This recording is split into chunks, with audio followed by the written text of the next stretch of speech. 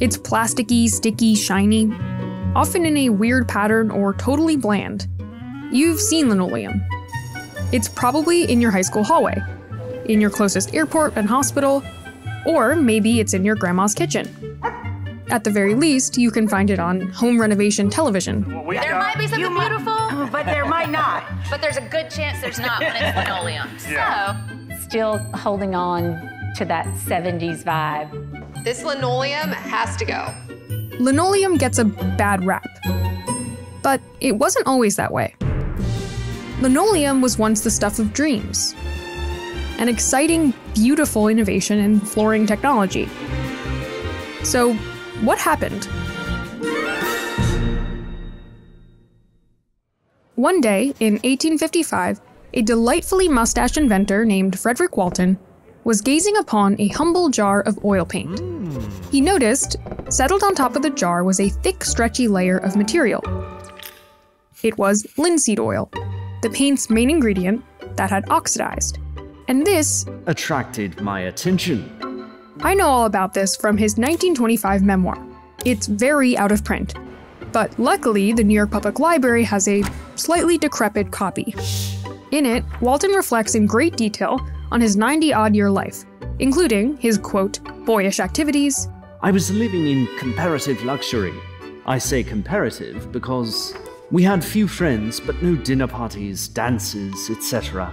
impressions of the American climate, The summer weather was delightful, except for the extreme heat. and visits to a psychic. He said he would put his wife into a trance. But mostly he wrote about his work.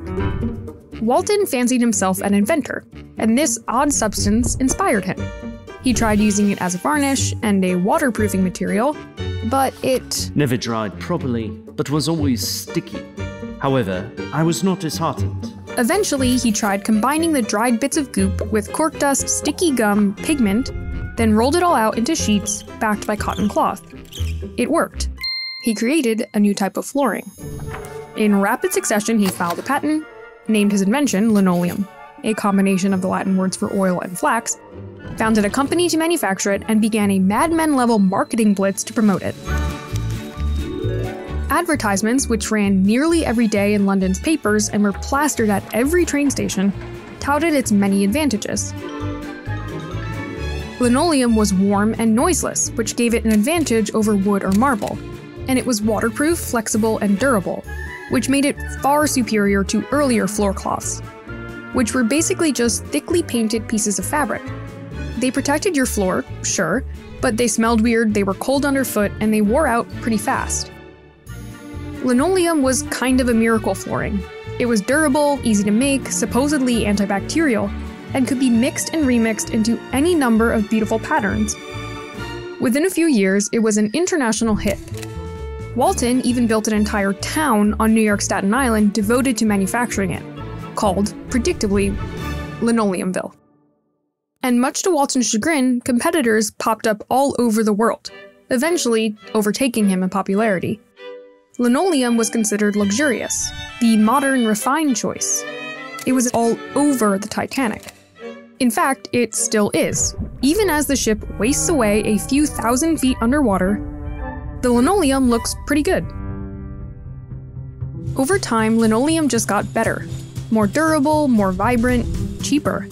By the 50s, linoleum, or lino, its jaunty nickname, came in a massive array of patterns like hundreds.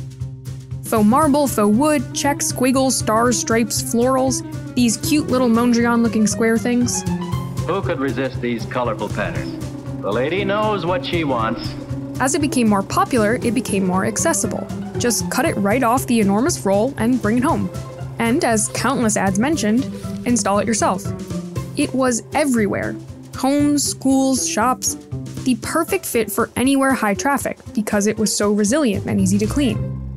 But all that ubiquity kind of backfired. Linoleum started to be seen as tacky, cheap. That durability backfired too. Patterns that fell out of style stuck around and started to look dated. Companies that used to focus on linoleum also pivoted to new options, like vinyl, which was cheaper and didn't require wax to stay shiny. linoleum did enjoy a second wind in printmaking and as a breakdancing surface. But alongside wood paneling and those weird glass blocks, it fell way out of fashion. Until recently.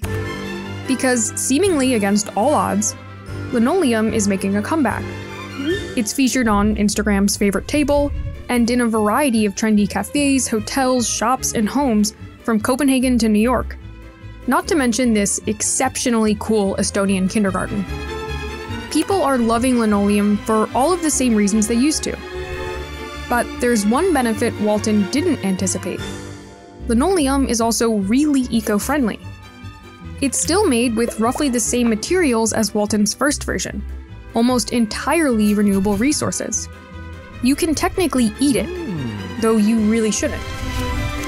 So, before you start thinking about ripping up that old linoleum in your bathroom, maybe give it a second thought.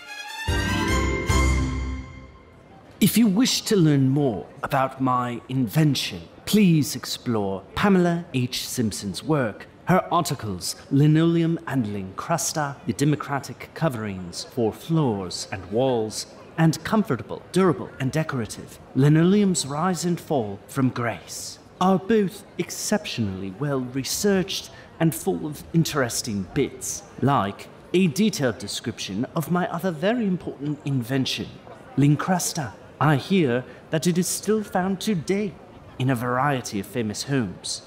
Both articles are linked below. Thank you for watching.